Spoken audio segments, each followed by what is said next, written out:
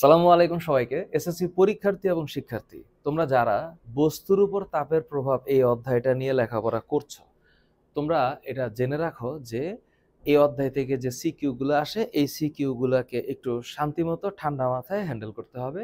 বুঝতে হবে যে অঙ্কটা কি চাইছে কীরকম ভাবে ম্যাথটা সলভ করতে হবে এবং ক্যালকুলেশনের সময় একটু দক্ষ হওয়া লাগবে। আমি একটা বিশ মিনিটের মতন বা আরেকটু কম সময়ের মতন একটা ভিডিও বানানোর চেষ্টা করছি, যেখানে তার ছিঁড়ে গেছে বা যাবে কিনা, এই জাতীয় একটা ম্যাথ আছে। এটা একটা ম্যাথ আমি এই ভিডিওটাতে শুধু একটা ম্যাথ নিয়ে কথা বলতে চাই। আর দ্বিতীয়ত আরেকটা ম্যাথ আছে, যেই ম্যাথটা আমি আসলে তোমাদেরকে পড়াইতে চাই, সেটা হচ্ছে বরফ গলে যাবে কিনা। মানে বরফ গলবে কিনা, কি পরিমাণ বরফ গলবে, এইটা নিয়েও একটা প্রশ্ন আছে। কি পরিমাণ বরফ গলবে গলবে কিনা? সো আমি ভাব- ভাবছি যে আলাদা আলাদা ভিডিও বানাবো। একটা হচ্ছে তার ছিঁড়ে যাবে কিনা? একটা হচ্ছে সম্পূর্ণ বরফ গলবে কিনা? সো যেহেতু আমার দুইটা টার্গেট তিনটা টার্গেট অ্যাকচুয়ালি সো আমি আজকের এই ভিডিওটাতে শুধু এই ম্যাথটা নিয়ে আলাপ করতে চাই। তোমরা একদম শুরুতে দেখো একটা খুব নৌন মানে তোমরা হয়তো জানো, তোমরা জানো যে দুই হাজার বিশ সালে এটা সিলেবাসে ছিল। দুই হাজার বিশের পরীক্ষার্থীরা সিলেবাসে ছিল, কিন্তু এরপরে দুই হাজার একুশ বাইশ তেইশ এই বোর্ড পরীক্ষার এক জায়গায়ও এই প্রশ্নটা মানে এই অধ্যায়ের প্রশ্ন নাই।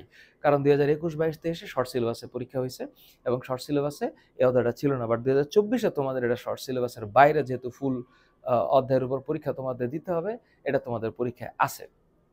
তুমি ডেটাটা খেয়াল করো যে একটা বৈদ্যুতিক খুঁটির দূরত্ব হচ্ছে কত মিটার? পঞ্চাশ মিটার। খুঁটির দূরত্ব পঞ্চাশ মিটার হ্যাঁ? খুঁটি। এটা আমার কোন কাজে কখন লাগবে এটা একটু পরে বলছি। গ্রীষ্মকালে বায়ুর তাপমাত্রা থার্টি ডিগ্রি সেলসিয়াস বুঝলাম। মানে একটু গরম। বাট ওই যে এখানে একটা দৈর্ঘ্য দেওয়া আছে না, এইটা হচ্ছে আমার একটা দৈর্ঘ্য। যেই দৈর্ঘ্যটা তামার তারের ক্ষেত্রে আমি স্ট্যান্ডার্ড চিন্তা করতেছি। আমি স্ট্যান্ডার্ড চিন্তা করতেছি, এই দৈর্ঘ্যটা হচ্ছে আমার এল ওয়ান এটা আমার আদি দৈর্ঘ্য, এটাই আমার তাপমাত্রা। মানে এই- তিরিশ ডিগ্রি সেলসিয়াস তাপমাত্রা, ওইটাই হচ্ছে আমার দৈর্ঘ্য, সুতরাং আমি এটাকে টি ওয়ান ধরছি। তামার তার দ্বারা খুঁটি দুটি সংযোগ দেওয়া হয়। শীতকালে বায়ুর তাপমাত্রা কত ডিগ্রিতে নেমে আসলো? Five degree it means it means এখানে ফাইভ ডিগ্রি সেলসিয়াস টেম্পারেচারটা মানে হচ্ছে কমে গেছে। এখন তুমি একটা জিনিস ইমাজিন করো, একটু ভাবো যে তোমার একটা কোনো কিছুর কোনো কিছুর একটা দৈর্ঘ্য দেওয়া আছে এল সেটা যে কোনো একটা টেম্পারেচারে তুমি টেম্পারেচারটা বাড়াইতে পারো। তাহলে এটা যদি এল ওয়ান হয় টেম্পারেচার বাড়াইলেও সেটা এল টু হবে টেম্পারেচার কমাইলেও এল টু হবে। দুইটাই এল টু এখন মনে করো একটা ইমাজিনেশন যে তোমার তামার তারের একটা দৈর্ঘ্য পাঁচ মিটার। তুমি তাপমাত্রাটা বাড়াইছো, কিছু একটা বাড়াইছো। তাতে করে টেম্পারেচারটা বাড়ানোর কারণে ওর দৈর্ঘ্য গিয়ে ঠেকছে five point one meter suppose তাহলে এইখানে আমার ডেল এল এর মান আসবে পয়েন্ট ওয়ান মিটার তাই না? পয়েন্ট ওয়ান মিটার বাড়ছে। আবার তুমি যদি তাপমাত্রা কমায় ফেলো, তাহলে এইটা ধরো ফোর পয়েন্ট নাইন মিটার হইল। এইখানেও ডেল এল হয়ে যাবে কত? পয়েন্ট ওয়ান মিটার দুইটাই ডেল এল দুইটাই তাপমাত্রার পার্থক্যের কারণে দৈর্ঘ্যের পরিবর্তন। তাহলে এইখানে ঘটনাটা কি দাঁড়াচ্ছে? তামার তারের ভর একটা ডেটা দিয়ে রাখছে। আমি হান্ড্রেড পার্সেন্ট কনফার্ম তোমরা বুঝতেছো, এটা হচ্ছে এম এবং তামার তারের আপেক্ষিক তাপ চারশো joule per KG per kelvin দিয়ে রাখছে, এইটা হচ্ছে আলফা সুতরাং এটা তুমি বুঝছ। এখন প্রথম প্রশ্ন হচ্ছে যে, স্যার, এখানে যে আলফার ভ্যালুটা দেয় নাই আলফা মানে দৈর্ঘ্য প্রসারণ সহ, এই মানটা লাগবে না? লাগবে। তুমি দেখো, এখানে কিন্তু দেয় নাই। সুতরাং এই ক্ষেত্রে আলফার মানটা মনে রাখা লাগবে। প্লিজ রিমেম্বার তামার আলফা, কপার আলফা অর্থাৎ দৈর্ঘ্য প্রসারণ সহগের মান হচ্ছে one point six seven into ten to the power minus five per kelvin sir এই ডেটা কি আমার মুখস্থ রাখা লাগবে? অবশ্যই রাখা লাগবে এই অঙ্কের ক্ষেত্রে, কারণ আলফার মান তো এখানে দেয় নেই বা আলফা বের করার কোনো কনসেপ্ট এখানে দেয় নেই। এখানে একটা সিস্টেম বলছে যে আমার একটা নির্দিষ্ট দৈর্ঘ্যের একটা তামার তার ছিল, এটাকে দুই খুঁটির মাঝখানে আমি থাক, রাখতে পারব কিনা? ও ছিঁড়ে যাবে কিনা? এটা হচ্ছে কন্ডিশন তো আমার আজকের যেহেতু মূল কনসেপ্ট ঘ নাম্বার কোয়েশ্চেনে আমি এই ক নাম্বার কোয়েশ্চেনটা হচ্ছে আমার মানে এটা আমার মূল টার্গেট না। এটা আমি এমনিও বলছি যে বরফ বিন্দু হচ্ছে প্রমাণ চাপে যে তাপমাত্রায় বরফ বিন্দু বলতে এখানে একটা তাপমাত্রা বোঝাচ্ছে প্রমাণ চাপে যে তাপমাত্রায় কোনো বরফ, কোনো পরিমাণ বরফ বা বরফ গলে পানিতে পরিণত হয় অথবা পানি জমে ঠান্ডা হয়ে বরফে পরিণত হয়, এটা হচ্ছে বরফ বিন্দু দ্বিতীয়ত হচ্ছে বাদুর শব্দোত্তর শব্দ সৃষ্টি করে কীভাবে পথ চলে? তো প্রশ্নটা হচ্ছে এইখানে। বাদুর এইভাবে পথ চলে, বাদুর সাধারণত প্রায় এক লক্ষ হার্জ কম্পাঙ্ক সৃষ্টি করতে পারে এবং এই কম্পাঙ্কটা সৃষ্টি করলেও যে পরিমাণ শব্দ উৎপন্ন করে সেটা মানব শ্রুতির সীমার বাইরে। সো তখন এই শব্দের উৎপন্ন হয় সেটা আবার ব্যাক করে ফিরে আসে। ব্যাক করে ফিরে আসলে এটা মাথা রাখতে হবে যে ও টের পায়। ও টের পায়, এটা ওর সেন্স প্রত্যেকটা প্রাণীর একটা স্বাভাবিক প্রবৃত্তি যে সে টের পায় যে ওর সামনে কি রিফ্লেক্ট আছে, এটা বোঝার, এটা সে বোঝে। তো তখন সে ওইভাবে স্টেপ নিতে পারে বা ওই ওর আকার আকৃতি বা ওর উড়ার যে উঠতেছে, ওই উড়ার স্পিডটাকে সে কম বেশি করতে পারে। পরের যে প্রশ্নটা, এইটাও আমার আজকে কনসার্ন না। শীতকালে শীতকালে তোমার এই তাপমাত্রা হ্যাঁ শীতকালের তাপমাত্রা কি হবে? কতটুকু তাপশক্তি বর্জন করবে? তোমাদের এটা সম্ভবত জানা আছে। যে কতটুকু তাপ শক্তি যেহেতু এখানে বর্জন করার কথা বলেছে, এটা কিউ ডেফিনেটলি আমরা জানি এটা কিউ হবে। সো কিউর সূত্র এম এস ডেল টি কেমনে এই সূত্রটা আসছে? আপেক্ষিক তাপের কনসেপ্ট থেকে আসছে। কীভাবে এই কনসেপ্টটা আসলো? ধরো ধরো কনসেপ্টে তুমি এটা চিন্তা করো যে তোমার এম কেজি কোনো একটা বস্তু আছে এম কেজি সেটা যাই হোক এম কেজি এম কেজি ভরের কোনো বস্তুর তাপমাত্রা তুমি ডেল টি পরিমাণ চেঞ্জ করবা। চেঞ্জ করবা। এবং চেঞ্জ করতে গেলে তোমার ওই পরিমাণ তাপ লাগবে কিউ জু একটা পরিমাণ তাপ লাগবে। এখন তুমি এটাকে এককে পরিণত করবা যে এক কেজি ভরের কোনো বস্তুর, ওই ভরের বস্তুর তাপমাত্রা যদি আমি এক কেলভিন বাড়াইতে চাই, তাহলে আমার যে তাপের পরিমাণ হবে Q by M del T, এই এত জুল এম ডেল টি, এইটা হচ্ছে আমার তাপ মানে এইটা হচ্ছে আমার জুল। এখন যেহেতু এটা মানে আপেক্ষিক তাপ হয়ে যাচ্ছে, সুতরাং কিউর একক হচ্ছে জুল, আর নিচে ভরের একক হচ্ছে কেজি, আর তাপমাত্রার একক হচ্ছে কেলভিন। তার মানে এটা হওয়া উচিত joule per joule per joule per KG per kelvin. এটা বুঝতে কষ্ট হওয়ার কথা না। তাহলে তাপ শক্তি যে বর্জন করবে that should be M S del T হবে। এখানে স্পষ্ট তামার তারের ভর দেওয়া আছে, সেই ভরটা কত দেওয়া আছে? তিরিশ কেজি। সুতরাং this should be thirty KG. তামার আপেক্ষিক তাপ, এই মানটাও দেওয়া আছে কত? চারশো joule per KG per kelvin. এবং ডেলটি হচ্ছে, তাপমাত্রা ছিল থার্টি ডিগ্রি হয়েছে কত? ফাইভ ডিগ্রি আই হোপ এটা তোমাদের না বোঝার কিছু নাই। এখানে ডেলটির মান হচ্ছে thirty degree celsius minus twenty five degree celsius. That should be twenty five না তো, five degree Celsius.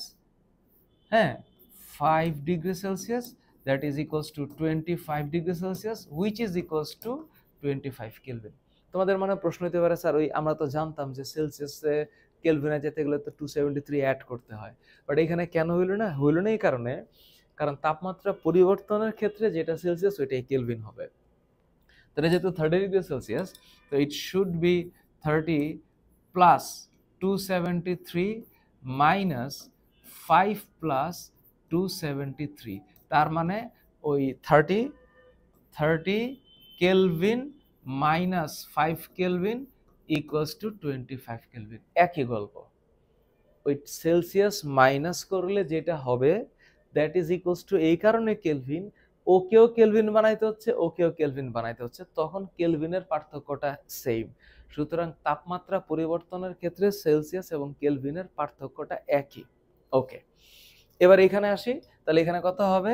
Twenty five kelvin তাহলে এইটা হচ্ছে এম যার একক কেজি তারপরে এই যে এস আপেক্ষিক তাপ, যার একক হচ্ছে joule per KG per kelvin into যে তাপমাত্রা তার একক হচ্ছে কেলভিন তাহলে অ্যাবসলিউটলি এখানে কেলভিন কেলভিন বাদ যায় কেজি কেজি বাদ যায়। তাহলে বেঁচে থাকে একমাত্র যে এককটা, সেটা হচ্ছে জুল। তাহলে এটা কত হবে? চার পঁচিশে কত? একশো না? তিনশো। এরকম হওয়ার কথা না? তিরিশ তিরিশ ইন্টু পঁচিশ ইন্টু চারশো। চারশো না? হ্যাঁ। তাহলে কত? Three into ten to the power five তাই না? এরকমই তো হওয়ার কথা। Three into ten to the power five joule হ্যাঁ তাহলে এইটা হচ্ছে three into ten to the power five joule মানে চার পঁচিশে একশো তো? হ্যাঁ পাঁচটা শূন্য, ঠিকই আছে, এত জুল তার মানে three into ten to the power five joule এই পরিমাণ তাপ শক্তি সে কী করবে? বর্জন করবে। কেন? কারণ তাপটা আগে কি ছিল? আগে ছিল কি? গরম। এখন সে কি হয়েছে ঠান্ডা হয়েছে তাহলে গরম থেকে যখন ঠান্ডা হবে, তখন তাপ শক্তির কি হবে? বর্জন হবে। আমরা জানি ক্যালোরিমিতির সূত্রানুসারে গৃহীত তাপ সমান বর্জিত তাপ সেটা কখন? যখন স্পর্শে আসবে। সুতরাং ও গরম থেকে যেহেতু ঠান্ডা হচ্ছে, ও বর্জন করছে। আমার আজকে কনসার্ন এইখানে না, আমার কনসার্ন এই জায়গাটায়। স্যার, এই যে ম্যাথটাতে দুইটা ইলেকট্রিক খুঁটির মাঝখানে ডিস্টেন্স হচ্ছে পঞ্চাশ মিটার। এটা প্রথমে বলে দিছে যে এইটা পঞ্চাশ মিটার ডিস্টেন্স এবং গ্রীষ্মকালে যখন মানে তামার তারটাকে বসানো হয়েছে, গ্রীষ্মকালে এই তামার তারটাকে ঝুলানো হয়েছে। সেখানে মানে পয়েন্ট জিরো থ্রি থ্রি মিটারকে বাড়ানো হয়েছে, অর্থাৎ ফিফটি পয়েন্ট জিরো থ্রি মানে fifty metre distance plus point three three metre মানে হচ্ছে থ্রি পয়েন্ট থ্রি সেন্টিমিটার অতটুক তার বেশি দেওয়া হয়েছিল। যেন কমে মোটামুটি পঞ্চাশের কাছাকাছি। আমরা তো চাই না বা কোনো ইঞ্জিনিয়ার চাইবে না বা কোনো প্রতিষ্ঠান চাইবে না অথবা বাংলাদেশের বিদ্যুৎ সরবরাহের প্রতিষ্ঠান চাইবে না যে শীতে তাপমাত্রা কমে গিয়ে এমন টানটান হয়ে যাক যে আমার তার ছিঁড়ে যাবে। সেটা হচ্ছে বস্তু ধর্ম, এটা ফিজিক্স তো এই ক্ষেত্রে আমার সূত্রটা হচ্ছে যে আলফা ইকুয়ালস টু আমি বুঝতেছি এটা del L divided by L one del T কোনো সন্দেহ আছে? নাই। স্যার, এই যে সূত্রটার মধ্যে যে আলফাটা নাই স্যার, বইয়ের মধ্যে যে এই যে, এই জায়গাটার মধ্যে আলফার ভ্যালুটা দেওয়া আছে, এটা কার? তোমাদের বইয়ের মধ্যে এই যে, এখানে একটা তামার তার নিয়ে কথা বলা হয়েছে, তাই না? এই যে তামা, এই তামার তারের এইখানে আলফার মানটা বের করছে, এই জায়গাটা থেকে আলফার মানটাকে নিতে হবে আমাদের। সেটা কত? এখানে আবার ভুল দেওয়া আছে, এটা পার ডিগ্রি সেলসিয়াস এবং আবার এখানে দশমিকের আগে দুইটা ঘর দেওয়া হয়েছে which is absolutely not good তাহলে এখানে কি হওয়া উচিত? এখানে হওয়া উচিত হচ্ছে, আমি যদি এটাকে দশ দিয়ে ভাগ করি, তুমি লাইনটা বোঝো আমি কি বলি। সিক্সটিন পয়েন্ট সেভেনকে আমি যদি দশ দিয়ে ভাগ করি আর ten to the power minus সিক্সকে আমি যদি দশ দিয়ে গুণ করি, তাহলে এইখানে এককটা পার কেলভিন হবে যা আছে তাই থাকার কথা। সো অ্যাবসলিউটলি এটা হওয়া উচিত one point six seven into one point six seven into ten to the power minus six তো সিক্স না? তাহলে এটার সাথে ইন্টু করলে কত হবে? Ten to the power five per kelvin তাহলে এটা one point six seven ten to the power five minus five actually minus five per kelvin হওয়ার কথা। তাহলে অ্যাবসলিউটলি আমি এটা বুঝতেছি যে এখানে আলফার মান নিতে হবে one point six seven into ten to the power minus five per kelvin per kelvin এবার এইখানে যে আলফাটা আছে হোয়াট টু ডু স্যার এই যে আমার ডেল এল এইটার মানে হচ্ছে L two minus L one equals to এই যে আলফার সাথে এটা গুণ, আলফা এল ওয়ান ডেলটি এবার তুমি একটু ঠান্ডা মাথায় বোঝো আমি কি বলি। আমার পড়ার আজকের ক্লাসটার মূল টার্গেট এই জায়গাটা। তুমি যদি এল টু বের করতে চাও, কারণ আমি এখন তো পরিবর্তিত দৈর্ঘ্য বের করতে চাই, যে তাপমাত্রা কমলে কি হবে? তাহলে please remember L two equals to L one two এই পাশে যাবে। তাহলে L one plus alpha L one del T বিষয়টা এরকম। তো এল ওয়ান কত ছিল? ওই যে fifty point zero three three এটাই তো আমার, এই এই পরিমাণ দৈর্ঘ্যতে আমি বসাইছি। তাহলে এই যে এল ওয়ান এটা হচ্ছে fifty point zero three three plus আলফার ভ্যালু হচ্ছে one point six seven into ten to the power minus five এই যে L one fifty point zero three three into del T কত? কত কমছে? পঁচিশ। এখন স্যার, এই পঁচিশ কি প্লাস না মাইনাস তুমি একটু খেয়াল করো, তোমার ডেলটি কিন্তু কমে গেছে, তুমি তাপমাত্রা কমাচ্ছ। এই কারণে মাই ডিয়ার স্টুডেন্ট তুমি এই জায়গাটার ক্ষেত্রে হিসাব করবা minus twenty five please remember এটা মাইনাস টোয়েন্টি ফাইভ হবে। কেন? কারণ এই তখন এইটা আসলে মাইনাস হবে। কারণ তোমার এল টুটা কমে গেছে। তাহলে তুমি একটু খেয়াল করো fifty point zero three three plus এটা তো প্লাস হবে না। এখন কি হবে? মাইনাস। এবার দেখি কি হয়?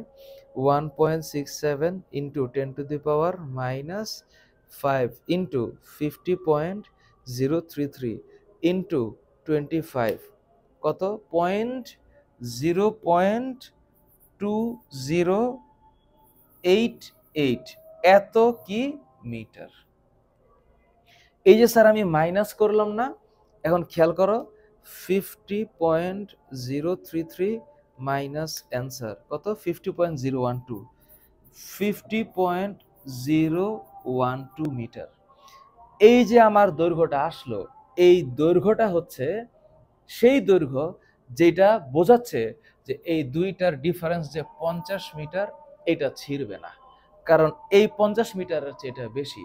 সুতরাং এই দৈর্ঘ্যটা, এই দৈর্ঘ্য খুঁটির শব্দটা একটু বুঝো। খুঁটির দূরত্বের মধ্যবর্তী, দূরত্বের চেয়ে মধ্যবর্তী, দূরত্বের চেয়ে বেশি। তাই তাই, এটা এই যে উপরে লিখতে হবে। তাই তার ছিঁড়বে না। তাই তার কি হবে না? ছিঁড়বে না। এই হচ্ছে কথা। So fifty point zero one two metre এটা হচ্ছে আমার ডিস্টেন্স ওই অতটুকুর ডিস্টেন্স তুমি এটা কি করছ? এটা মাইনাস করছ। আবার তুমি করতে পারতা কেমনে? তুমি যদি এল ওয়ান বের করতা এল ওয়ান মনে করো, স্যার, আমি আপনি তো এল টু দিয়ে করছেন। তাহলে স্যার, এখানে যে মাইনাস ছাড়া করা যেত না, যাইতো। কীভাবে?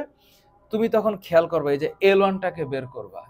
এইটার বদলে এইটাও করা যায়। এল ওয়ানকে বের করলে, এই যে L two minus alpha L one del T তখন কি হবে জানো? এইটা আর তখন এই এল ওয়ান থাকবে না। এই যে এইটা হয়ে যাবে আমার এল টু তাইলে হবে। তখন তুমি সংকুচিত হইলে কতটুকু দৈর্ঘ্য আসবে এটা বের করবা। তাহলে তখন কি হইতো? এই যে fifty point zero three three minus তাহলে এইটা আলফা কত? One point six seven into ten to the power minus five এটা হচ্ছে fifty point zero three three into এই ডেলটির মান তখন পজিটিভ হইতো। তাহলে তোমার এই ডেটা যা আসবে আর এই ডেটা একই হইতো।